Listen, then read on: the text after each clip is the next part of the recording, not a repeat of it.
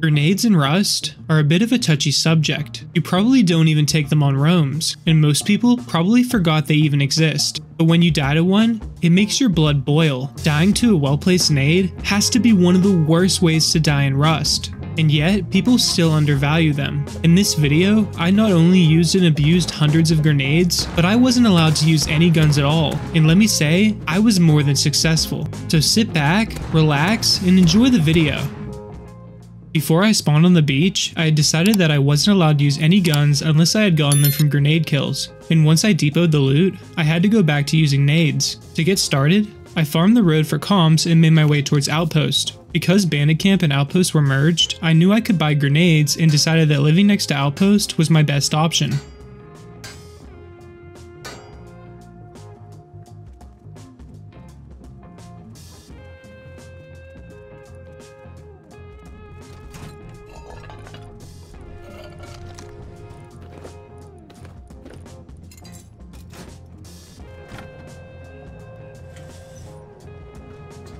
After recycling all my comms and buying some nades, I farmed up some wood to build a legacy shack. I placed it just outside the building radius and then got a few bags down before going back in outpost. Since the server was 600 pop, I figured that camping the train tunnel entrance would be a smart move. But after waiting for almost 30 minutes, I realized people were smart enough not to come up here. I would have to get grenade kills doing something else. So I roamed the map in search of my first victim.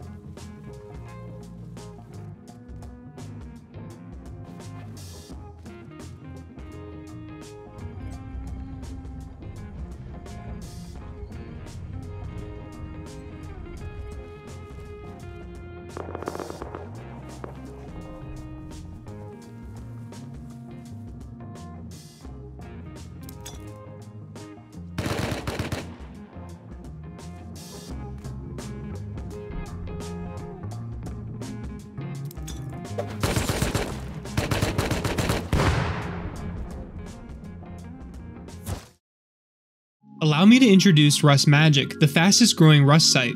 They have just added slots and live games to the site. You can now deposit Rust skins and play on thousands of slots or even with a real blackjack dealer. They also have the best case battles with lots of unique features such as 2v2v2, a borrow money option that lets you do high roller battles with a small balance for no extra fees, and a coin flip mode where a coin flip decides the winner of the battle. They also have Minesweeper and loads of other games. Rust Magic is giving away $40,000 in July to the top 15 players on the site. If you're into the Rust Gamba, this is seriously the place to be. You can deposit with skins, credit card, PayPal, and crypto. And when you're done, they have a huge selection of skins to withdraw from. Or if you don't want skins, you can also cash out crypto instantly with a 0% fee. They have tons of rewards including a free rain system, daily free cases, and a rakeback system. And lastly, you can use my code Erwin for a free 50 cents to try out the site. My first attempt was a failure, which isn't unexpected. Being forced to only use grenades can be a severe disadvantage at first, but I knew as I continued I would get better. I just needed to get over a brief hurdle of failure, and to keep myself going, I thought of how mad my opponents were going to be once I mastered this devious challenge.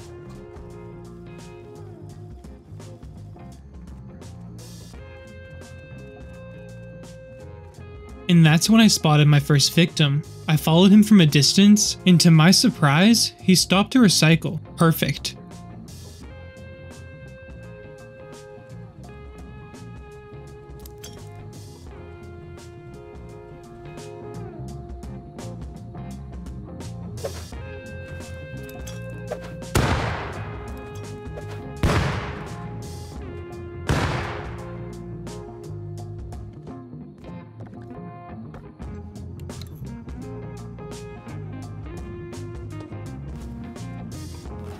I finally got my first kill, and he was loaded. 250 scrap for just a few grenades was a great deal. This was the moment I realized I was going to become very rich doing this.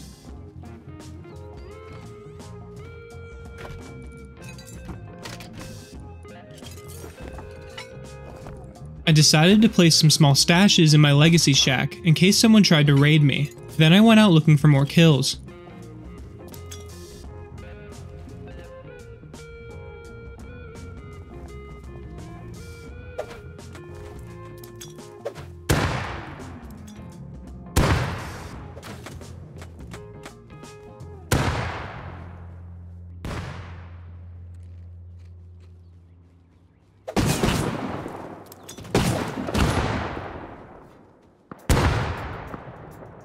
It was a slow and steady process. Killing other players with grenades was going to take a lot of patience, and a lot of the time, I died trying.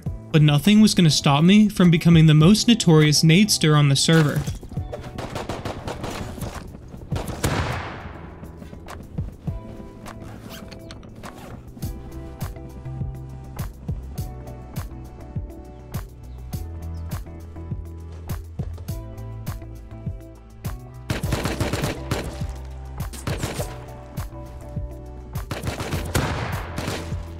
I was so busy trying to up my kill count, I didn't even realize someone had raided my legacy shack. But luckily, I had stashed away all my good loot, so I quickly rebuilt and went back to hunting for kills.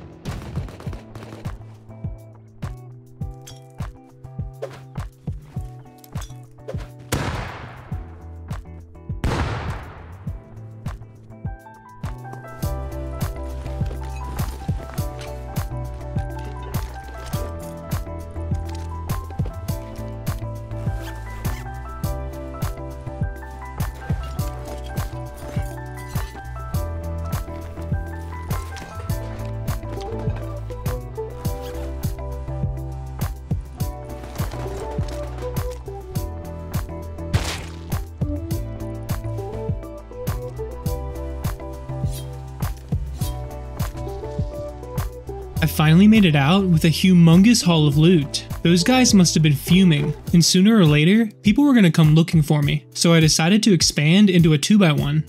I began by farming some wood and stone, and then I got to cooking.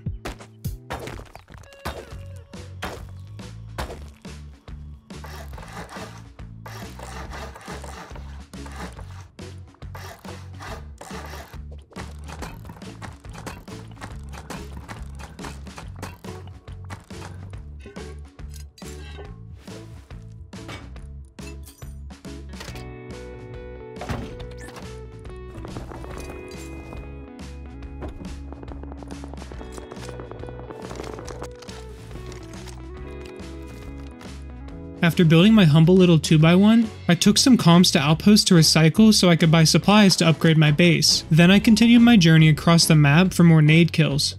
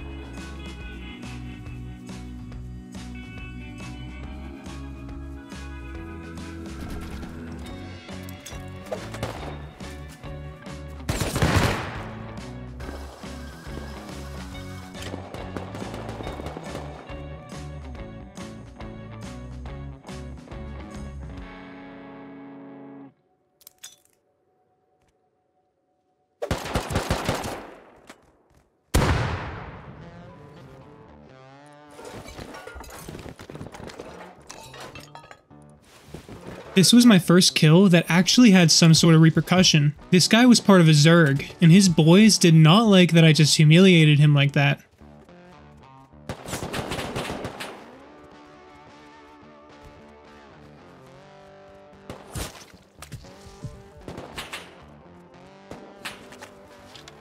After hiding in the sewers for a bit, I took the train tunnels back to Outpost. I figured this was the safest and least conspicuous way home. The last thing I needed was some angry Zerg knocking on my front door.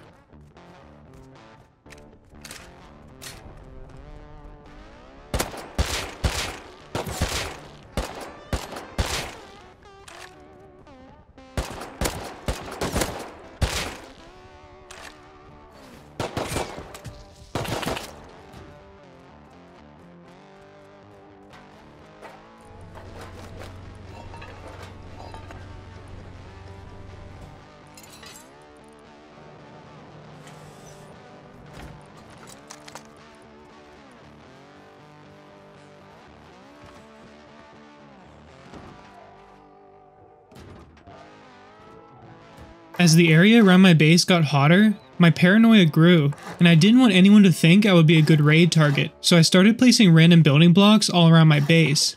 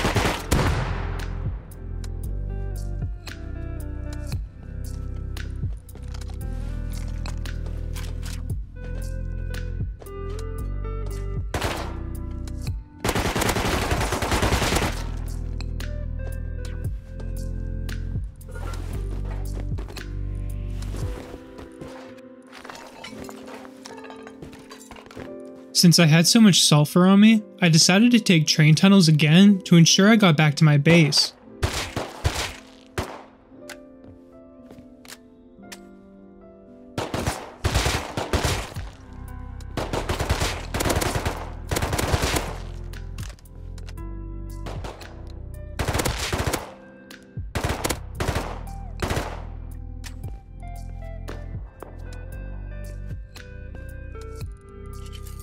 Once I got to Outpost, I waited for the cover of night just to increase my odds.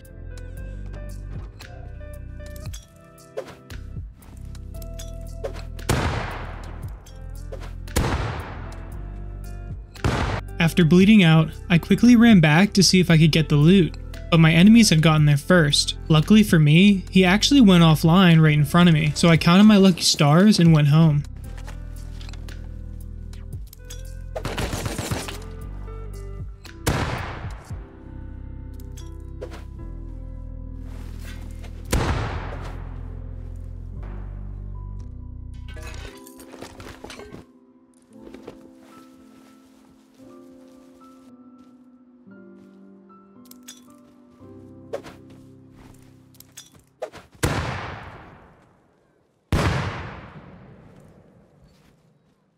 Holy moly, that guy takes the cake for the most guns on a single victim. Let's see if my luck continues.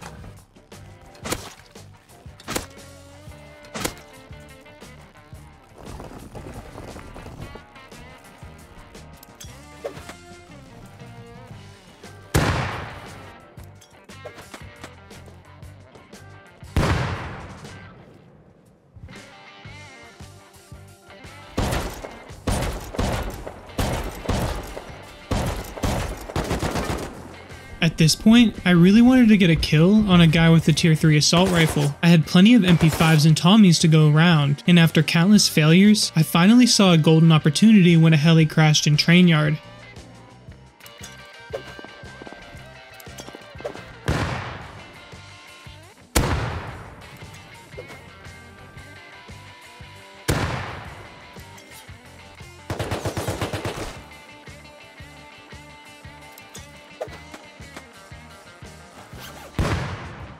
After wasting my last grenade, I grabbed a DB out of anger and killed one of the AK guys.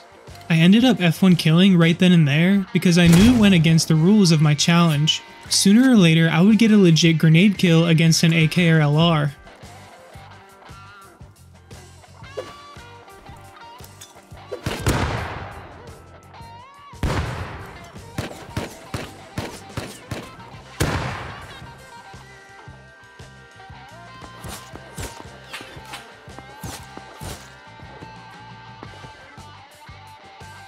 As if the game was taunting me, I died to an LR from my roof camping neighbors. Revenge coursed through my veins as I knew I had to make him my next victim.